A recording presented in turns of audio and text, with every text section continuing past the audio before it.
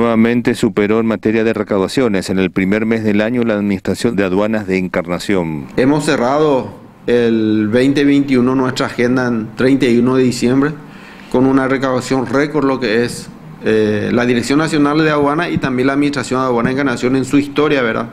Y abrimos nuestra agenda de enero, primero de enero 2022 y hoy en día terminando el, eh, este mes de enero nos encontramos con un superávit muy importante, en un superávit de 176% positivo de recaudación, dándote una comparación, hay una diferencia de 16, mil millones de guaraníes, recaudamos más en diferencia fue el año pasado, ¿verdad? Así que eh, esperemos que esto da un, un buen inicio que si esto se va a mantener, la, eh, la, tendencia va a ser esto, bueno, creemos que este 2022 y estamos apostando que también superemos nuestra recaudación del 2021, ¿verdad? Esa es nuestra meta y bueno, seguimos con eso, así que el mes de enero recaudamos más de 25 mil millones de maní y eso nos da una ventaja muy importante, ¿verdad? Y bueno, esperemos que este febrero también abrimos nuestra agenda de febrero y esperemos tener muy buena recaudación este mes de febrero. Así que la agricultura mejore porque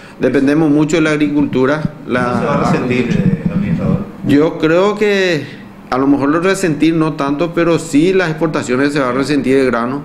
Ahora, cuando más utiliza el, la tierra, más abono se necesita, ¿verdad? Y la importación de abono va a ser inefectivamente, sí o sí se va a tener que hacer. O sea, eso a lo mejor no se va a resentir mucho, pero sí la exportación de grano, sí va a disminuir mucho. Para este mes de febrero hay buenas perspectivas de que siga en esta alza en materia de recaudaciones, teniendo en cuenta que pueden ingresar más insumos y productos agrícolas por este punto del país.